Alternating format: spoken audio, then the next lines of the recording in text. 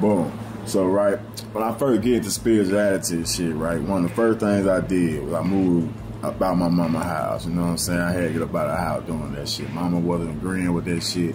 And you know, as a grown ass man, I had to get up out of there any damn way. I was fresh out of prison trying to get my shit back together, so I stayed with my mama for a little while.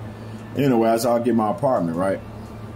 Move next door, pretty much right next door to my mama in a little duplex or a, tri- a triplex, of three apartments over there. My cousin in the back. And so uh, I moved next door to one of the craziest motherfuckers in the city, right? Uh, he was cool and shit, but at first we had some smoke going on. I didn't understand why. You know what I'm saying? He'd act like he my friend, but really he was doing shit behind closed doors. I noticed he used to always bring up Eastern Stars and Masons all the time, man. You know how he, you know, he used to fuck with him and he used to be at the lodge and shit with him and doing shit for him. He used to always bring that shit up. He used to always talk about how my great grandma uh, was Eastern Star connected and all that shit. My whole family is. so uh, I used to get tired of him talking about this shit. So anyway, one night, man, you know what I'm saying? I'm doing my little rituals and shit. And uh, I used to feel this nigga over there just doing shit. But I know when you, when you go inside his house, you see a bunch of little crazy shit. You know what I'm saying? I'm like, man, this nigga do all altar work. I had already peeped it out top. I said, this nigga do all altar work and shit. He fuck with a little hoodoo on the low low. So one night he over there, you know what I'm saying? I'm doing my little I had just got into doing my ancestor work, had my altars and shit together, you know what I'm saying? I don't think I would fuck with no Orishas yet. I want Ifa initiated yet. But uh next thing you know, I'm, I'm hearing this nigga beating on the wall and shit. He beating on the wall. He did it six times. Boom, boom, boom, boom, boom, boom. Loud as fuck. And I'm like, man, what the fuck this nigga over there doing? Wait a little second, he did again. Boom, boom, boom, boom, boom, boom. Six every motherfucking time. So I'm like, what the fuck this nigga over there doing? Is he conjuring the devil or some shit? You know what I'm saying? So I go outside, I knock on his door. Nigga ain't never come to the door, right? So I go back over there.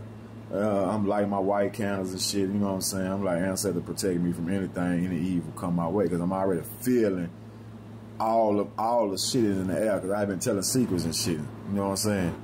So uh, I hear noise again. Boom, boom, boom, boom, boom, boom. Now I'm getting fucking aggravated, right?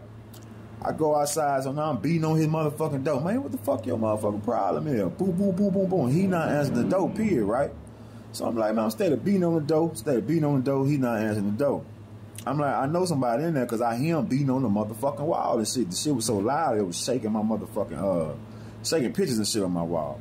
So I go back over there again. Uh, now, this time when I go back to the house, I'm feeling all type of demonic energy around me. And next thing you know, I hear the noise again. Boom, boom, boom, boom, boom, boom. Now I'm mad. So I took my motherfucking gun. I said, this nigga beat through the motherfucking wall one more time. I'm gonna send a bullet over there. I bet he stopped in. I'm chilling, I'm chilling, relaxing. Instead of feeling a bunch of demonic energy around I started feeling sick. I started feeling bad. Next thing you know, I heard boom, boom, boom, boom, boom, boom. I said, all right, I told her. Wow, shot through the wall. when I shot through the wall, all the noise stopped. And so uh, next thing you know, I see this nigga running outside on the porch. Big money, big money, big money. That was you, big money. That was you, big money. That what he called me, big money. And I'm like, uh, what's he talking about? I'm playing dumb with it. I said, man, what you talking about? He said, man, somebody shot through my wall, big money. It came from your house. I said, man, I ain't even got no motherfucking gun. What you talking about, man? You know what I'm saying?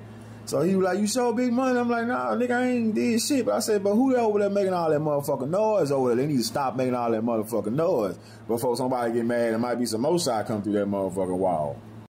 So this nigga used to have all type of masons and shit. You just pull up, right? And I'm knowing why they pulling up. They either pull up and just watch me, watch my house, because everybody want to know who the fuck I was. Who are this? Who are this new, this new mason, this new set boy? That's not only been going around telling people all these secrets and shit, but he been whacking niggas. Anybody we get close to him, he whacking them, or people whacking their ass. So you know, they either come up and just watch me and shit. And that's when I realized this nigga next door wasn't on my team. He was on a side. And I come to find out later on, this nigga was actually spirit cooking me. This nigga had me in a motherfucking job. I'm gonna tell that story later. Stay tuned. Tales of a former human trafficking agent continues.